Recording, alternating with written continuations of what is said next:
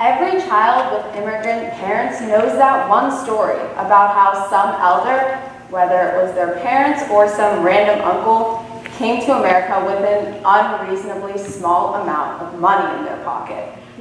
For example, my grandma always tells me about how she came to America with absolutely no money at all and lived with her sister until she could get on her feet. Or my dad, who decides to repeat the story of how he came to America with just one suitcase in his hand every time he sees my closet overflowing. But enough about the immigrants themselves. Where does that leave us? And by us, I mean the children of immigrants. What stories are we going to tell our children? Maybe the struggles teachers have pronouncing my name. Or maybe how I skipped a grade in math when I was in elementary school because I'm brown. It might not be as interesting as crossing international borders with $10 in my pocket, but it is something. More importantly, am I going to tell them about the troubles I face integrating into a completely different culture than the one my parents brought me up in? What about the immigrant guilt I faced for every inconvenience I had seemed so insignificant in comparison to the hurdles my parents jumped in their days? Whatever stories we do decide to tell our children, they're just as valuable as the first generations. So let's start off with that math story then. Despite the common misconception, I don't have smart blood flowing through my veins just because I'm Asian.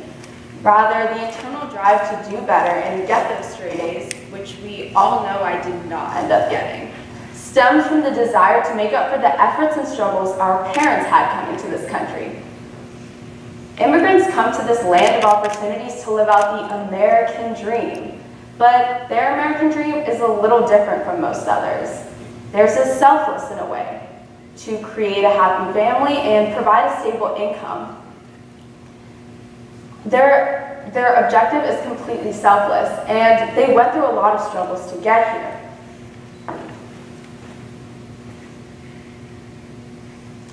Just like our parents, oftentimes children of immigrants feel similar pressures.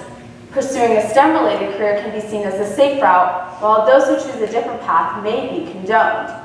Of course, we've seen how progressive our generation has become and how much more we've branched out. But for those of us who do choose that safe route, it's for reasons similar to our parents. For example, I play cello. Personally, I've never thought of having a career in music.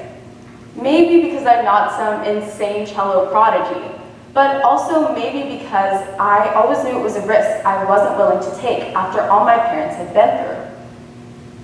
I've learned a lot about my dad's childhood in Kenya, and it's shaped some of the views I have on my future. My father's family was evicted from Uganda, and my grandfather was almost killed during the partition of Africa. Thankfully, my grandfather and his family were able to pick up their life again in Kenya, and begin their new life with new freedoms, despite the treacherous transition. The core of their success, though, was their education and backgrounds. This allowed my grandfather to start a new business in Kenya. These stories have only grounded my belief in having a future and a career that supports my ideals as well as my aspirations. So I understand it's good to be idealistic and have a dream job. But there needs to be a realistic portion which will allow me to sustain myself and maybe one day my family. From both my mother's and my father's side, my grandparents were able to resettle in different continents because of their quality education and background skills. So when you see immigrant children holding up their math competition trophies or science school medals, just know that they're not solely doing it for their resume, but rather to make their parents feel proud and accomplished to make sure that parents know that they're taking advantage of all the educational opportunities offered, to repay their parents in a way while also paving way for future generations. The educational stereotypes of immigrant children are not to be taken at face value, and it's essential to understand the background to some of the decisions we make. Now let's take a look at balancing two cultures. Indians living in America have coined the term ABCD, or American Born Confused Desi, Desi being slang for the word Indian. As funny as it sounds, it holds just as much truth behind it. I personally consider myself an ABCD. Growing up in an Indian household was, to say the least, interesting. Whether it was watching Shah Rukh Khan movies with my older sister or singing along to old Indian songs that were made before I was even born with my parents, I loved my heritage. I loved eavesdropping on the family gossip when all my aunts were gathered around speaking in Hindi, and even joining in, but unfortunately in English.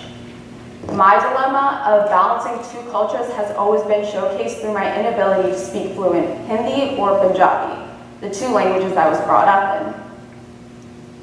Despite my mom's constant efforts to teach me Hindi, I always pushed back. I was afraid that by embracing my culture at home a little more, I would lose the ability to blend in at school. With my name changing from Malika at home to Malika at school, I felt the balance tipping more and more toward the American side. Although I can still understand my parents when they're not speaking in English, part of me wishes I had just taken that time and opportunity to learn Hindi from my mom. But the issue isn't as narrow as failing to fluently speak a language. It revolves more around that balance I was referring to. Trying to balance two completely different cultures is extremely difficult. And having an open-minded group of friends and colleagues certainly helps, but there's always going to be aspects from each culture that completely clash. Paralyzed by the fear of embracing my culture and identity, I faced a unique fear that my parents couldn't relate to, whether it was pronouncing my name, speaking the language, or even dressing the part. I struggled with my identity as not an Indian, nor an American, but rather an Indian American. Thankfully, I don't have this struggle anymore. Rather than having to choose a side, I instead embrace both, allowing me to shape the person I am and who I want to be. And lastly, let's take a look at immigrant guilt. The gap between first generation and second generation immigrants is largely overlooked and often not talked about, especially between children and their parents.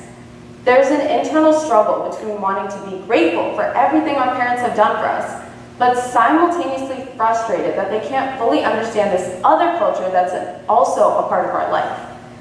Because of the apparent difference in lifestyle and upbringings, it makes it difficult to talk about some of the struggles we have as children of immigrants. For example, mental health is an issue that's not openly discussed or even acknowledged in other countries. So when a child of an immigrant tells their parents they're having mental health issues, we never know what reaction to expect. Discussing mental health is always a gamble because our parents simply don't understand what we have to complain about. The first question they'll always ask is, why do you feel that way? You have a house, food, clothing, opportunities I never did. They're not wrong in that aspect, but what they don't understand is that it's not a materialistic issue. Rather, it's a combination of the things I was talking about before. School, social life, balancing two cultures, there's a lot to juggle, so why can't we talk to our parents about it? Then we remember the obstacles they faced. They migrated to an entirely new country and created a family. They worked their way up the system. So in their eyes, hard work always equates to success. They're not concerned with anything except the end result because they know that where there's hard work, there's going to be success. Weighing their struggles with ours, it seems childish and selfish to complain. But this is like comparing infinities. Is one infinity really bigger than another? Is one struggle really worse than another? The American part of us wants to tell our parents to value the path we took rather than the result, and the costs we take on that path. But the immigrant part of us is what keeps all these inconveniences bottled up.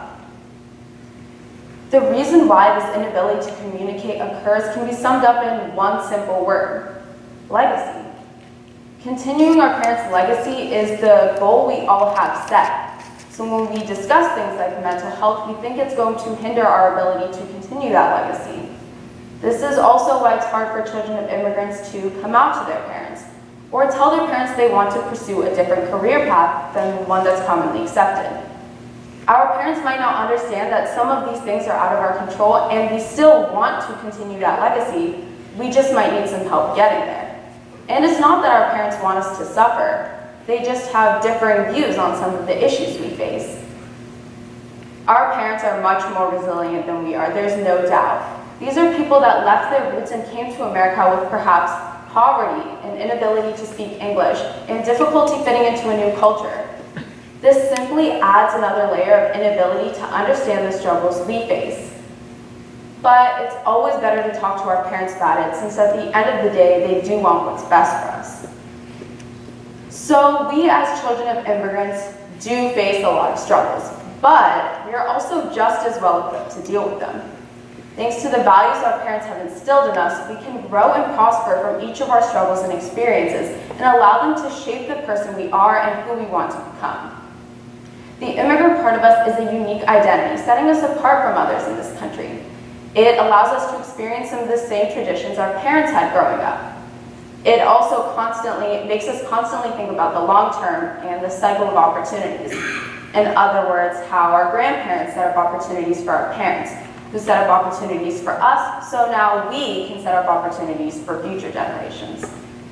Ultimately, we are extremely grateful for everything our parents have done for us.